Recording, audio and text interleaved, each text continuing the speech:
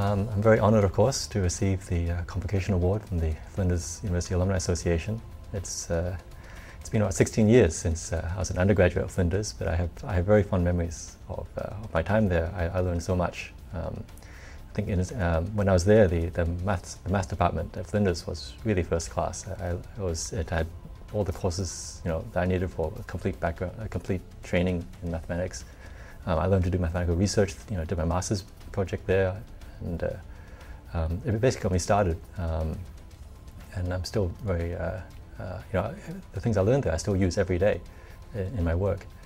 Um, I guess in the years since I've, I've, I've, I've left, uh, the math department has sort of cut back a bit, but uh, I, I, hear now that they're, they're, rebuilding, and that's really encouraging. And uh, I really hope that they become as, as, as, strong again as they were when I was, when I was there. Anyway, I'm very um, honored to receive this award and uh, thank you very much and I'm sorry I couldn't be there in person. Okay.